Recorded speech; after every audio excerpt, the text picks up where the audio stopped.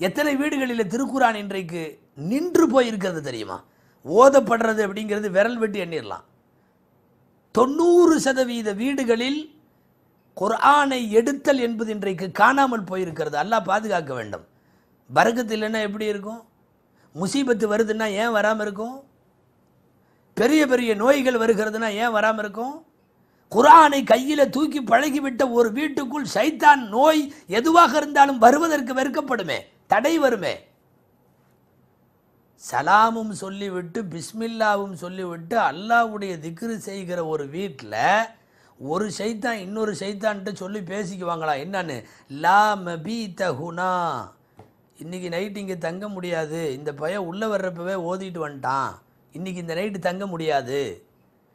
அல்லாஹுவுடைய துதிக்கிற அந்த நாமங்கள் இருக்கிற இடங்களிலே தானே அசுத்தங்களும் அசிங்கங்களும் வராது. இன்னைக்கு எல்லாம் வருது.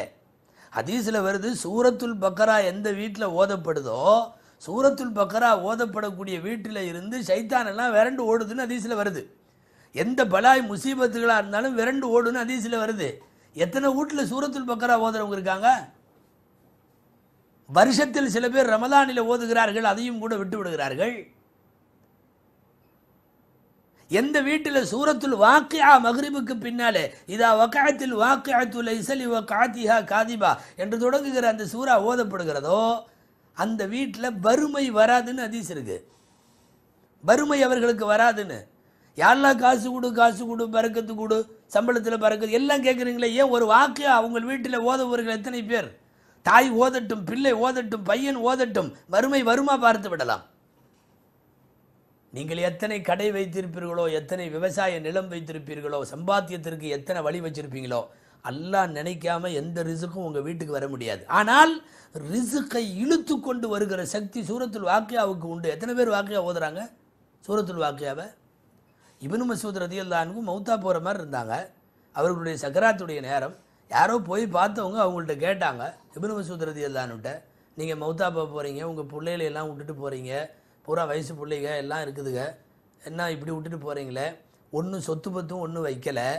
இப்படி ஆயிடுச்சேன்றப்ப இப்னு மசூத் ரதியல்லான்னு சொன்னாங்க என் பிள்ளைங்க எந்த காலத்துலையும் வறுமையில் போக மாட்டாங்க. ரசூலுல்லாஹி செல்லல்லா அலி செல்லம் அவர்கள் நாள்தோறும் மகரிவுக்கு பின்னால் சூரத்துல் வாக்கியாவை ஓத ஓதச் சொல்லி எந்த வீட்டில் ஓதப்படுகிறதோ அங்கு வறுமை வராது என்று சொல்லியிருக்கிறார்கள். நான் என் பிள்ளைகளுக்கு என்ன கொடுத்தோனோ இல்லையோ சூரத்துல் வாக்கியாவை கற்றுக் கொடுத்திருக்கிறேன். அவர்கள் அன்றாடம் ஓதிக்கொண்டு வருகிறார்கள். அவர்களை வறுமை பீடிக்காது என்பதிலே நான் உறுதியாக இருக்கிறேன் என்று சொன்னார்கள். இவர் மசூத் ரதி அல்லாஹோன் மரண நேரத்திலேயும் என்ன உறுதி தெரியுமா? திருக்குர் ஆனில் சூரத்துல் வாக்கியா போன்றவைகளை ஓதுகின்ற வீடுகளில் வறுமை வர முடியாது. பஹரா ஓதுகிற வீடுகளில் ஷைத்தான் குடியிருக்க முடியாது.